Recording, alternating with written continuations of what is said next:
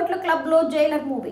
రజనీకాంత్ తాజా చిత్రంగా ఈ నెల పదవ తేదీన జైలర్ విడుదలైంది. ఇక సన్ పిక్చర్స్ వారు నిర్మించిన ఈ సినిమాకి నెల్సన్ దిలీప్ కుమార్ దర్శకత్వం వహించారు. రమ్యకృష్ణ తమన్నా సునీల్ ముఖ్యమైన పాత్రలను పోషించారు. ఇక అనిరుద్ధ్ బ్యాక్గ్రౌండ్ స్కోర్ను కూడా అందించిన ఈ సినిమాకు తొలి రోజునే రికార్డు నమోదు చేసింది. ఇక ఈ సినిమా ఈ నెల పద్నాలుగవ తేదీతో ఐదు రోజులను పూర్తి చేసుకుంది. ఈ ఐదు రోజులలో ఈ సినిమా ప్రపంచ వ్యాప్తంగా మూడు వందల యాభై ఏడు పాయింట్ ఆరు సున్నా కోట్ల గ్రాస్ను వసూలు చేసింది.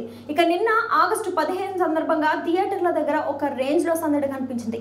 భారీ స్థాయిలో బుకింగ్స్ జరుగుతున్నట్లుగా తెలుస్తోంది.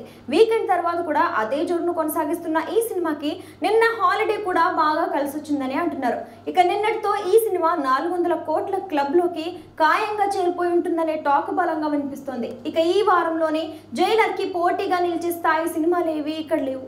అందువలన ఈ వారంలోనూ జైలర్ మరిన్ని వసూళ్ళు రాబట్టడంతో సందేహమే లేదని అంటున్నారు.